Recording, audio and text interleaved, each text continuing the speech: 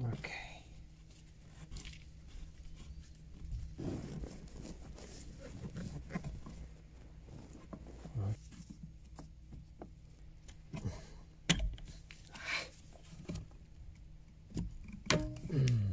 so this is how it comes off.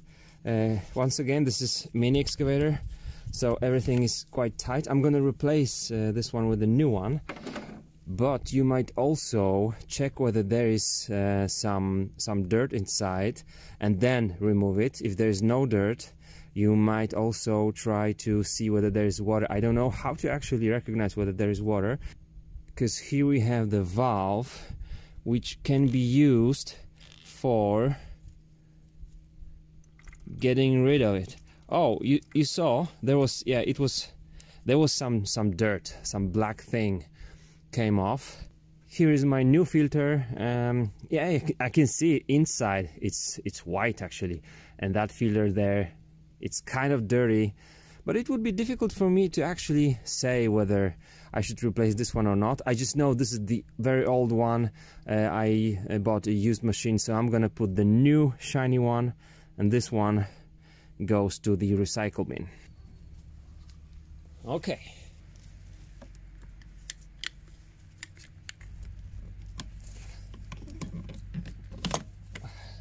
we are installing it and removing it not, not by turning uh, the filter itself but this nut or locking ring. This filter isn't just round uh, we need to match its uh, shaping to the whole body.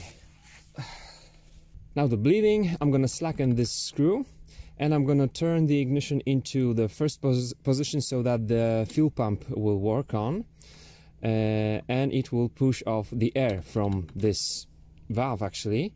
Uh, and when I see that the fuel will be coming uh, off this valve with no air I'm gonna tighten this again. But in the manuals it say slacken the screw and then turn the, the ignition on.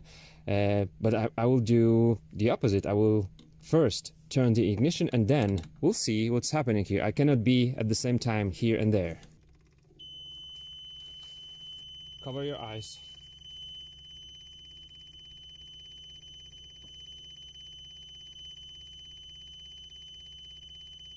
See bubbles, see bubbles. Okay.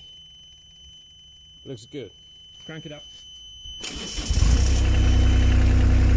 That was the bleeding procedure for the filter and then the engine will bleed itself while it's cranked up. So that's it. On some models you're gonna have little handle, little pump right here and then you loosen this, this nut and then you bleed this filter by yourself without turning the ignition on.